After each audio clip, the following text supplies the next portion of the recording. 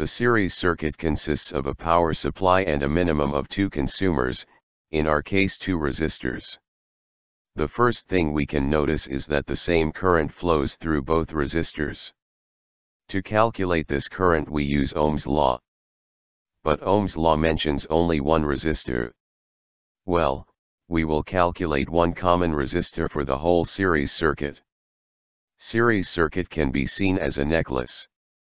Each part of the necklace, although different, is connected to its neighbor in a row.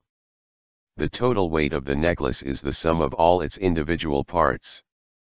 Thus, we can present our circuit as just one resistor that will represent the sum of resistors R1 and R2. In case there are several resistors in series, we just simply add them up and get the total resistance of the series circuit, as shown by the official equation. Now that we know the total resistance, we use Ohm's law to calculate the current of the series circuit. If you don't know how Ohm's law works, watch my video about it first. The link is in the video description.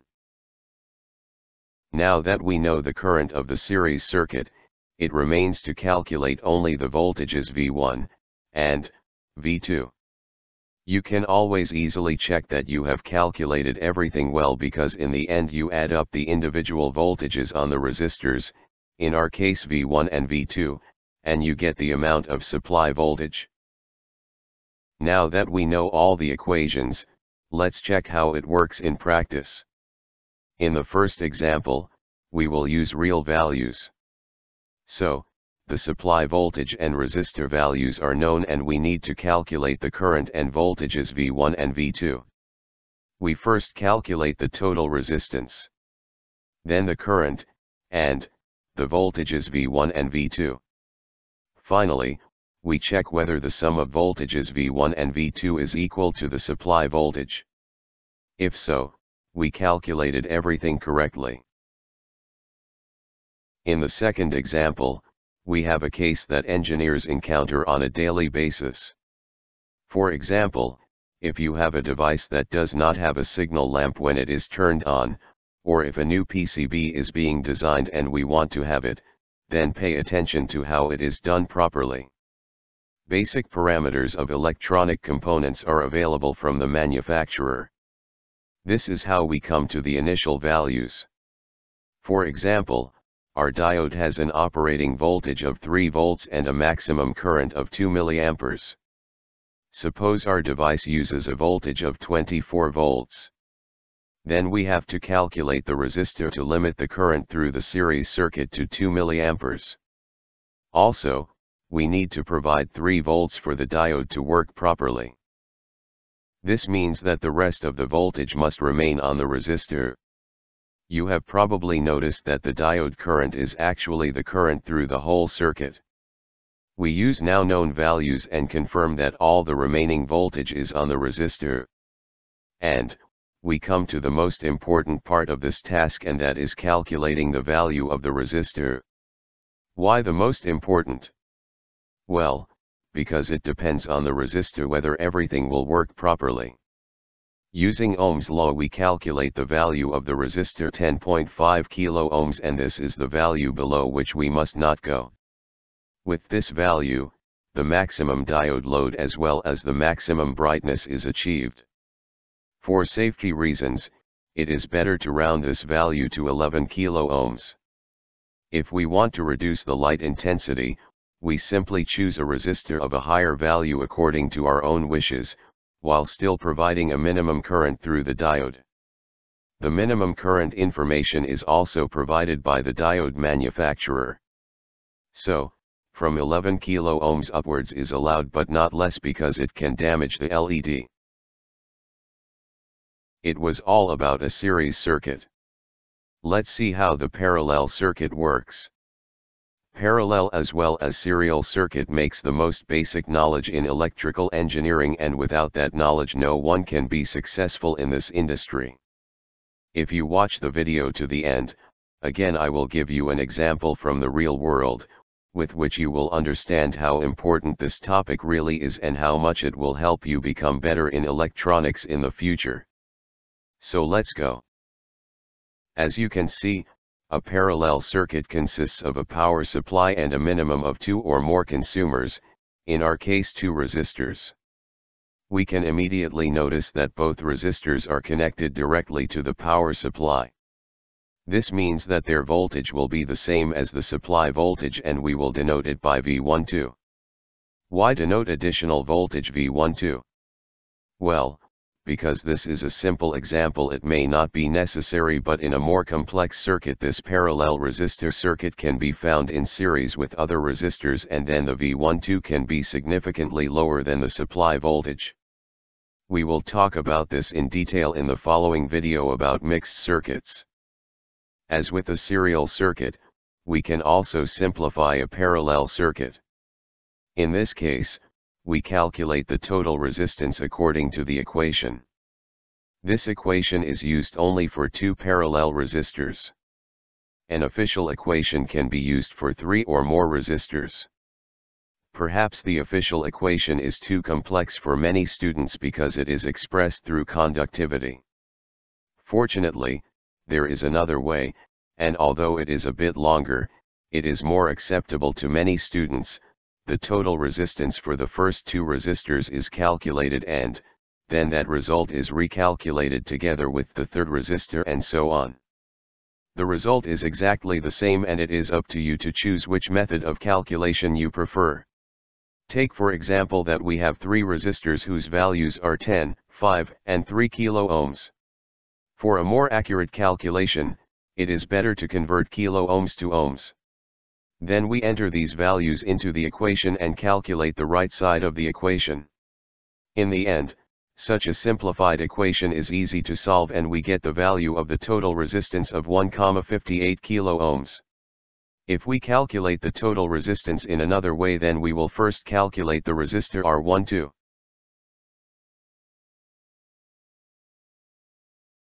Then we include this value in the new equation and associate the resistor R3.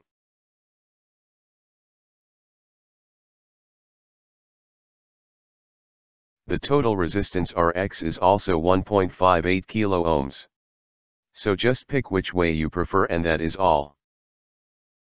Now that we have solved the resistors, it remains to solve the currents in the parallel circuit.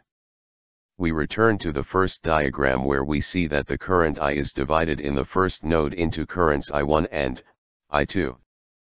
I1 flows through the resistor R1, and the current I2 through the resistor R2. In the second node these currents are collected again in the current I. According to Kirchhoff's law, the sum of currents flowing into that node is equal to the sum of currents flowing out of that node. In other words, the algebraic sum of currents in a network of conductors meeting at a point is zero. In the end we only have to calculate the currents I1 and I2. V12 is actually the common voltage across resistors R1 and R2, in our case the supply voltage. Finally, using Ohm's law, we calculate the currents I1 and I2. That should be all you need to know about a parallel circuit, so that you can further independently calculate and design these types of circuits. Let's apply this knowledge in practice on a simple example.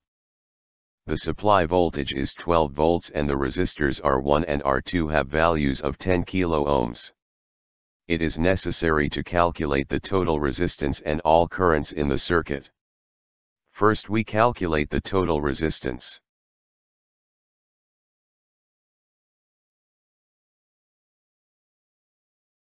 Then the total current I.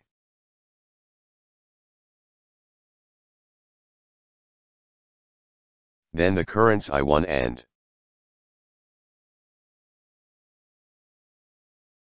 I2.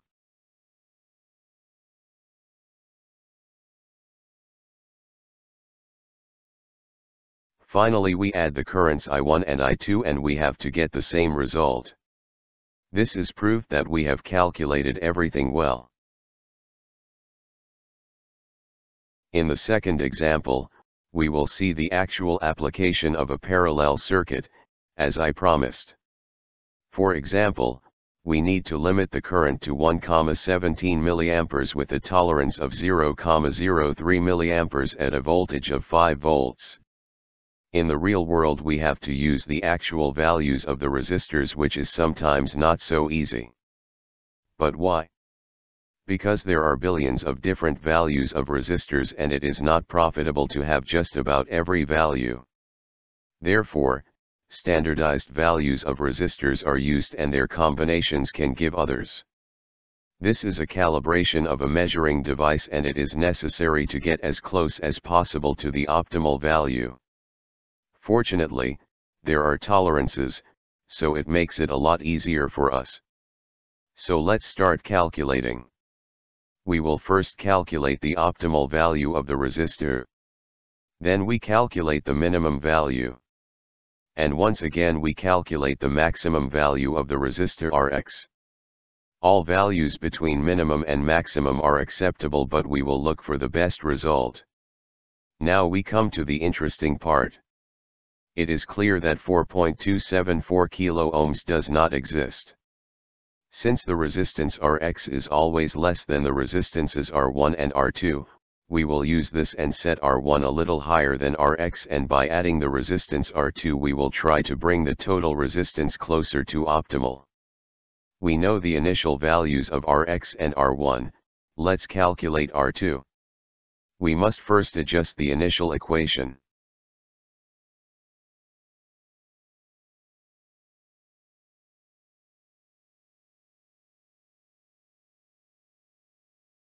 Then we enter the values of the given resistance R1 and the calculated optimal resistance.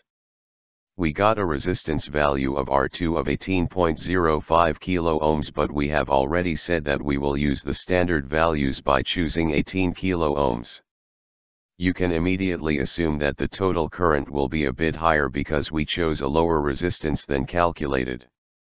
Now that we know R2 as well, let's calculate the actual Rx.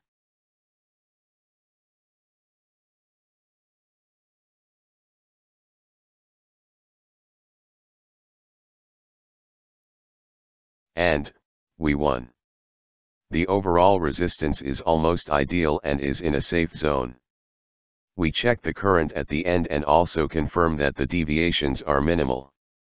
With this we can say that we have successfully limited the current with great accuracy and the device is too well calibrated. If you like this video please subscribe, like, comment and suggest and expect many more interesting videos very often. Thanks for watching and see you.